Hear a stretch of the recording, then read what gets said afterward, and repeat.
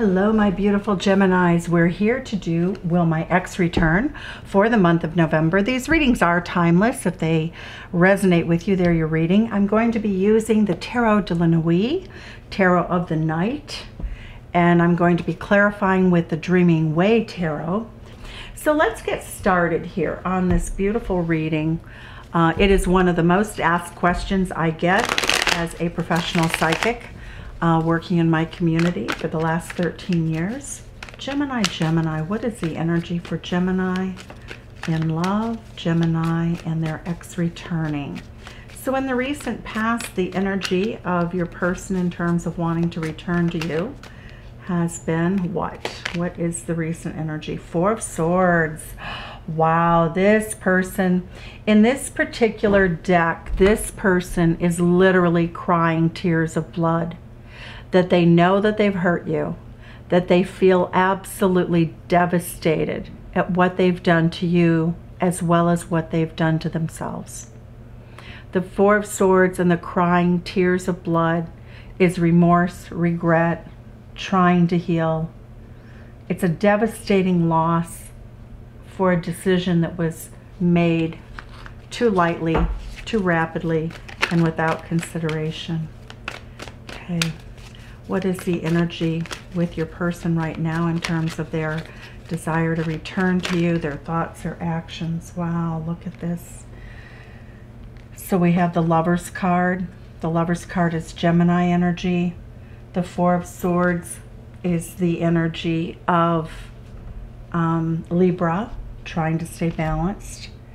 All right, so the lover's energy is right here. Your person has been thinking about you. They've been dreaming about you. This person just remembers that you were an incredibly good kisser.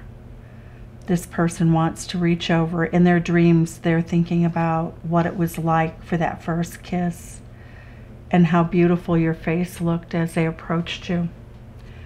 The Six of Cups energy indicates soulmate energy. It's longing for a time in the past. They long to be with you again. They want to travel sort of through the night to see you. This card indicates that if you live in a, a building or they know where you live, they would go by at night and look to see if the lights are on where you're at, or even to see if someone's with you. This person thinks about you all the time, Gemini. They think about you a great deal throughout the day. They feel really as though they wounded themselves and they wounded you by bringing you into a situation in which they really couldn't deliver the kind of love that you expected or hoped for. Beautiful, beautiful energy with the Three of Cups. Your person views you as a person who is just, look at how gorgeous this is. Gemini. Look at, she's beautiful. She has this cute little clever hat on. She's very artistic. She's enchanting. There's bunnies. There are cakes. Time with you is like a beautiful adventure. Your person feels as though you've all, you're always sweet. You're always kind. You're always so lovely to them. They feel as though they also, it's also what makes them feel very guilty in terms of what happened with you. The Three of Cups is a card of deep friendship. It's a person that you talk to first when somebody's something is going on in your life. It really speaks to the fact that they find you enchanting and delightful. How do they feel in their heart space? Well, the lover's card really is, that's soulmate, of course, soulmate. How does this person feel in their heart space right now? I'm not going to read reversals. I'm going to use clarifiers. So what we see is Six of Pentacles. We have the Knight of Pentacles. This move, this person is moving towards you very, very slowly. They're holding on to their heart. They feel as though with the Knight of Pentacles that they have to cut something away. They have to cut some sort of illusion away. They were supposed to give you more, and they feel that when they come back to you with the Six of Pentacles, that there needs to be equal give and take. You gave so much to the relationship. You were always top notch. You were always loving and gracious and kind and beautiful with them. They feel as though they weren't the same way with you. When they came into your energy, you probably met them when they were working. This is Virgo energy. The Three of Cups is Cancerian energy. Um, you could have met them near around your home. Um, the energy of Virgo is very much work related. The Four of Pentacles basically says that, you know, right now they see you as a person who's holding back, that you are not really doing anything to invite them back in, that they feel that you want to talk to them in their heart space. They feel as though they need to give you more that you deserve the stability that you gave them in this relationship.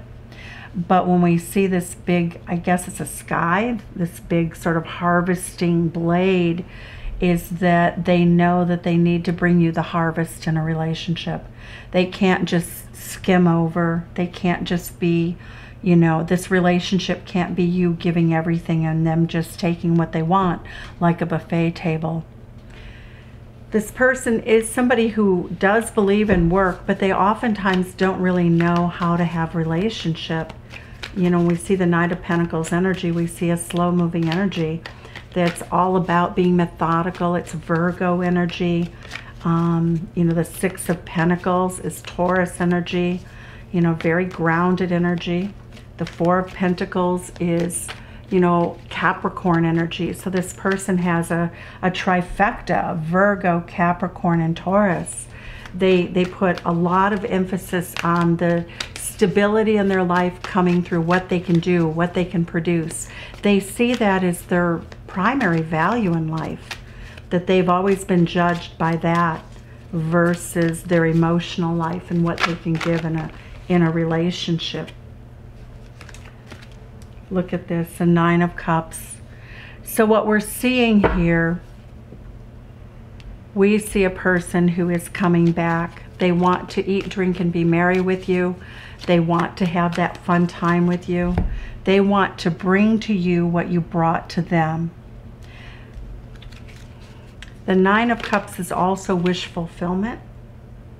The Chariot card says that they're going to be coming by your home. It will be very soon. They will reach out to you in your home if they're at a distance. The death card indicates that they can no longer hold back, that they're going to give up on this concept that if they can't give you everything you want, that they can give you nothing that you want, which is, you know, really speaks to the fact that it has been a very long time for most of you for this person to have been in your life that basically they're almost dead to you at, at this point in time um, and that they know that they have to transform this relationship. The chariot card is all about rushing in for love. It's about rushing home. Home is where the heart is. You are where their heart is. They're having this recognition that without you, life is just so bland. It's it's like it's not worth living, you know, and that's not to mean anything negative. It just means that without you, they thought they could go on without you, but they're finding that life is very, very challenging. Without the joy that you gave them, without the love that you gave them, without the laughter, the lightheartedness, that their life is very much out of balance. That's Scorpio energy. The Nine of Cups is Pisces energy. They fantasize about you. And the Three of Cups, very, very emotional, heavy energy here of wanting to come in, wanting to give you the great nurturing that you gave them, wanting to just come in and wrap their arms around you, and wanting to really have that rebirth of a relationship with you. The hidden energy that they have right now is they feel defensive the Seven of Wands says that they feel as though if they came back to you right now, that you would defend yourself against them. That you, they would, that you might see them actually as a sort of a, an enemy combatant almost. The Seven of Wands says that they know that you were right to feel upset with them that that they didn't give you the best. The death card even indicates for some of you that they could have disappeared without ever telling you, that after a night of having a beautiful time together, that you could have disappeared and um, that they could have disappeared and breadcrumbed you or cut off the relationship. I think that you've probably seen them in their car driving around. The Seven of Swords is the card that indicates that this person had secrets that they kept. They were being sneaky and deceitful and devious with you. This is like a person who's running out of a building out of shame for something that they've done. They expect everybody to chase them and hunt them down for the cruelty in which they have enacted on another, and that is you, Gemini. They definitely feel as though you wouldn't want to talk to them. Why would you, right? You know, they didn't treat you well. It didn't look like this person meant to treat you badly. It's almost as though it didn't even occur to them. Because you're so strong, Gemini, because you're so happy, because you are such a, a, a force to reckon with in life at large. You're successful, you're happy, you're glowing. Everybody wants to be with Gemini. The Ten of Pentacles, you take care of yourself. Many of you have abundance. The Emperor card says that they feel as though, short of being an emperor, they're not good enough for you. It really indicates, though, that this person felt sort of like they could just party with you, have this luscious energy, and that they could go on their merry way because you'd be fine without them. You know, that really they were never good enough for you. So let's look and see what we have now for clarifiers. The extended reading will be in the description box below and pinned to the top of the comments. And in that extended, we will go in depth into the cards. We'll, we'll put a lot more detail out in these cards for you. I will also help you heal and help you know what the future should bring for you. But this person is returning, okay? The person is returning because the outcome card here, when we go three, four, five, six, seven, eight, nine, they are returning and your outcome card is the Ten of Pentacles and the Emperor card. So those are your outcome cards. These are the energies that are hidden beneath the surface for you. But the Ten of Pentacles is as good as gold. This person's coming back. Here's what's interesting. That in the interim of them having left you, they became very successful. This person felt like they needed to go from being a Knight of Pentacles to an Emperor so in the 13 months, it could be any multiple of 13 months or 13 weeks, this person has achieved the level of success in which they view you as having achieved. They're coming back in as an emperor, and that is a very handsome emperor. We see the Ten of Pentacles. This person has created abundance and happiness and joy and legacy in their life. So it's very important. They really now feel as though they can offer you something that's truly beautiful. Before they felt like a lightweight that had to work all the time, that if you gave them a little bit of your time to just have fun and playfulness, that that was going to be enough. But life is not the same with you. They feel like it pales. Okay, let's see what we have. Why are they healing? Why did they cry tears of blood over this? Why have they cried tears of blood over this situation. They want a new beginning. They want a new beginning and they do not think that they deserve a new beginning. That's what the tears of blood are about with that particular card. Know, we have the Four of Swords. You know, that is all about Libra. Libra energy is all about being fair, right? It's balancing the scales. They weren't balanced with you. They left you on your own. They left you feeling like a fool Many of them feel as though you, you would feel like a fool for having been with them, but it really tells us that this person is praying for a new beginning, but they also have their back turned to the reality that you really love them. And so they're looking at their own pain. They're sort of caught up in a dynamic of feeling sorry for themselves.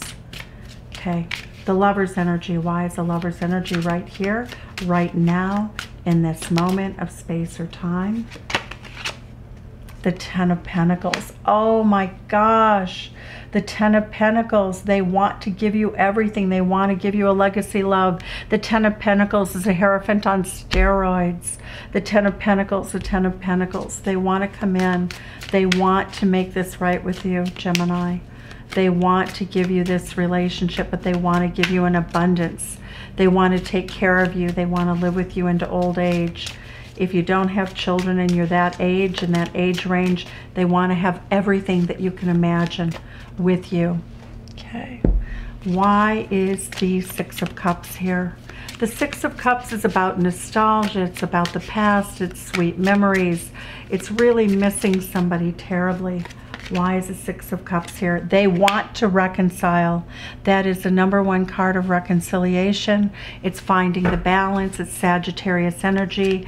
It's ninth house energy, which is the same as Libra. It's making things right. It's doing things the right way. We have an angel here that's very glorious, waiting around in these beautiful, this beautiful pool of water, which is nothing but pure love. Look at how sweet the face of that angel is. This person dreams of you at night. They think of you. They remember those sort of in a very watery, filmy way, what it was like to kiss you. That's what they can't get out of their heads. They cannot get that feeling of what it was like to come close before they kissed you in that moment. The Three of Cups energy. Why is the Three of Cups energy here for you? The Hermit card. Yep, I do believe that um, many of you are dealing with a Virgo, Sun, Moon, Rising, or Venus. Um, I feel that they have probably a very strong earth element to their chart overall. But look at this. When they're alone, all they can think of is how sweet it was when they were with you. They're trying to find the light through the night, but look at this. The person's turned the wrong way. It's like they're lost. They got lost on the trail of life. They have a, a lamp of illumination, and yet they're walking off into the forest where, you know, there's nothing in the forest for them.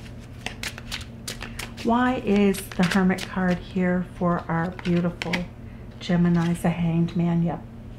This person doesn't feel as though basically they see that your back is turned to them. They have their back turned to you. But it shows that they're really, they feel as though they hung themselves out to dry. And why would you want them back, right? Why wouldn't you turn your back to them?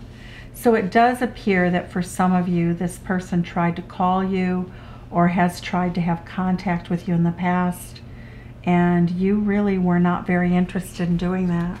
You know, it shows that at some point this interaction this person was coming back they've made an attempt and you you know you stood up for yourself you defended yourself.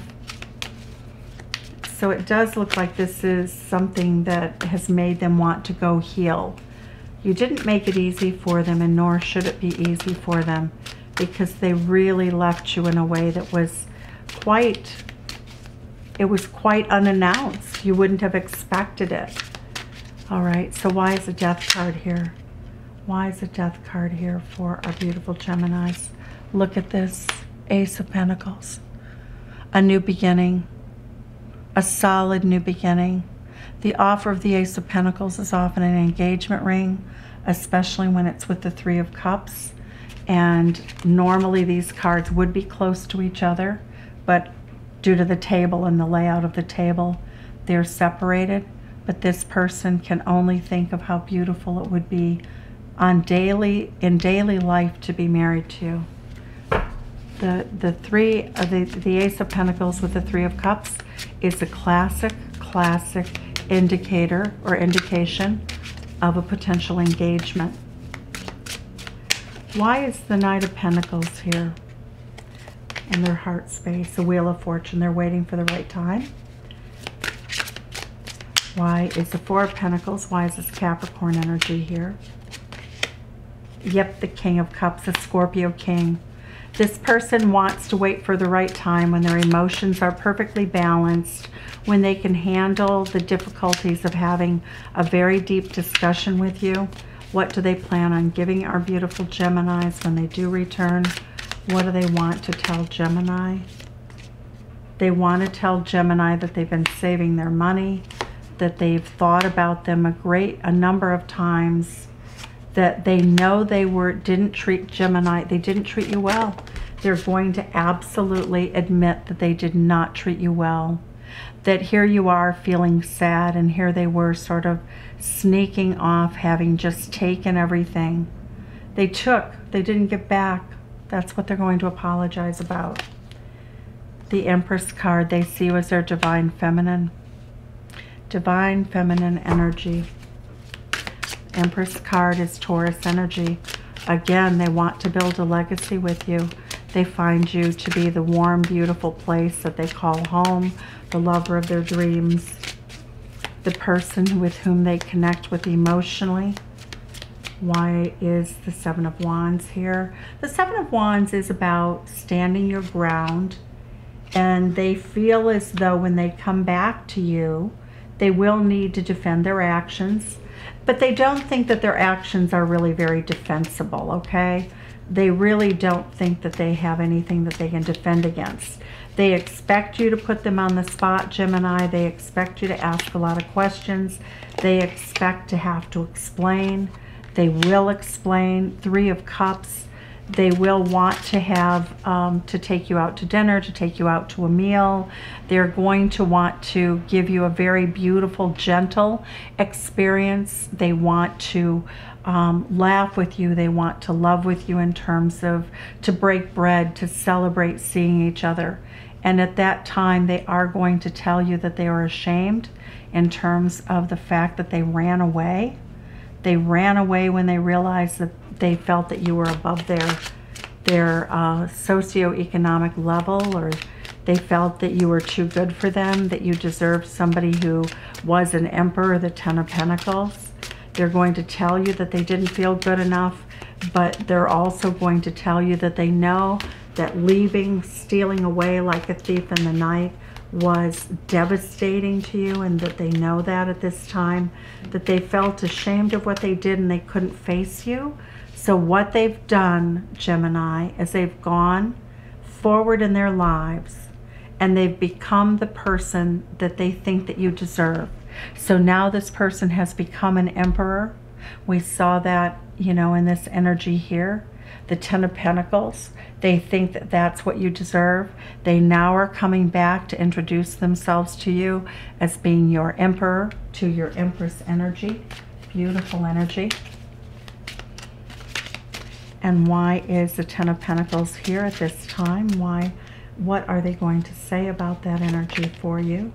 The Knight of Swords, they're going to speak their truth, the whole truth and nothing but the truth that they've wanted to come back to you for a very long time. For some of you, you may not have heard from this person in literally two or three years. It's very possible. Why is the Emperor card here, the Moon? this person doesn't know how to explain why you should take them back, the why you should take them back. They don't, they feel as though they don't deserve it, to be really straightforward. This person does not feel as though they deserve it. They simply know with the Aries energy, the Emperor clarifying the Emperor, uh, and the Emperor, the Moon card is Pisces your person simply feels that they're going to throw themselves at your mercy. And if you don't take them back, they won't be surprised. They really won't. They expect that you won't take them back. They really expect that you won't take them back. Knight of Pentacles. They still behave like a knight. They have become an emperor. They have built wealth. They've created legacy. They've created a path forward. They have grown up. When we get all of this beautiful energy, we have somebody who really slayed the dragons of where they were at in their life, and yet they still feel like that, that sort of boyish, you know, Knight of Pentacles, like they just don't know if you'll accept them. So let's go ahead and see what they would say to you for those of you who um, want to follow me in the extended, we're going to continue to look at this in depth again. Uh, but for those of you who want to stop here, we'll get what your person would say to you if they had the courage to say it. I'm sorry I couldn't follow through with my promises, and that's this card.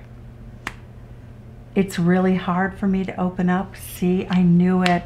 Am I good enough for you? Am I good enough for you?